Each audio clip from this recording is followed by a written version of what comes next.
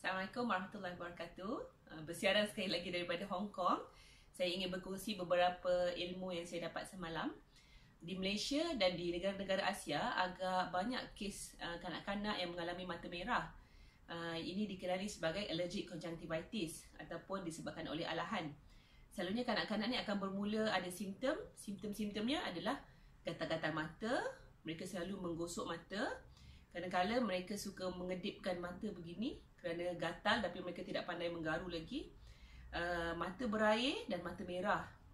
Uh, pada usia berapa? Kadang-kadang boleh bermula seawal 3 tahun tetapi kebanyakannya uh, yang paling teruk adalah pada usia 5 hingga 7 tahun. Uh, kebiasaan kebiasaannya uh, kanak-kanak yang ada masalah allergic conjunctivitis uh, ada juga masalah-masalah lain seperti asma uh, allergic rhinitis ataupun orang Malaysia suka panggil resdung. Bila bangun pagi selalu bersin-bersin, uh, gatal hidung, berair hidung uh, dan kadang-kadang mereka uh, ada masalah eczema juga. Sebab uh, semua masalah alahan ni berada dalam satu kumpulan yang sama iaitu atopi.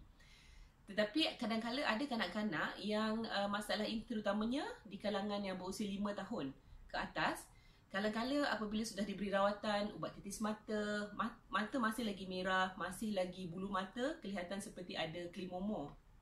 Jadi semalam salah seorang daripada uh, profesor daripada Singapura telah me- berkongsi ilmu beliau iaitu tentang blepharokeratoconjunctivitis BKC.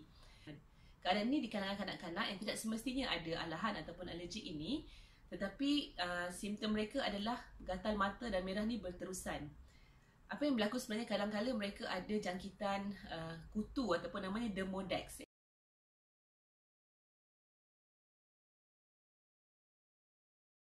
Demodex ni adalah sejenis uh, kutu ataupun hama sangat kecil, kita tak boleh nampak dengan mata kasar. Uh, kutu ini duduk di bulu mata. Jadi apa yang berlaku adalah apabila malam kutu ini akan keluar dan akan berpasangan dengan uh, yang jantan dan betina lah akan berpasangan dan mereka akan uh, bertelur dan beranak pinak di bulu mata. Sekiranya kami doktor mata memeriksa kanak-kanak ini pada bulu mata mereka kadang-kadang terdapat klimomo yang berbentuk silinder pada bulu mata. Jadi sekiranya mereka uh, kanak-kanak ini disyaki mengalami demodex, apa yang perlu dilakukan adalah perlu dibersihkan bulu mata tersebut. Uh, profesor ini mencadangkan menggunakan tea tree oil. Tea, tea tree oil uh, sebanyak 5%. Tetapi saya tak cadangkan ibu bapa buat sendiri ya. Lebih baik untuk datang bertemu dengan pakar mata. Kita akan nasihatkan bagaimana cara membersihkan bulu mata. Kerana tea tree oil ini boleh uh, membunuh kutu ini. Uh, tapi janganlah pergi ke luar dan beli sendiri. Kerana kita tidak tahu concentration ataupun kepekatan yang sesuai.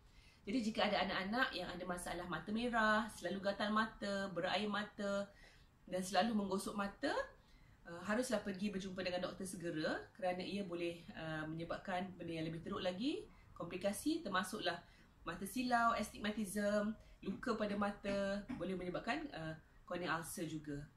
Okey, sekian sekian dulu daripada Hong Kong untuk hari ini. Jumpa lagi dalam sembang-sembang oftalmologi yang seterusnya insya-Allah. Assalamualaikum.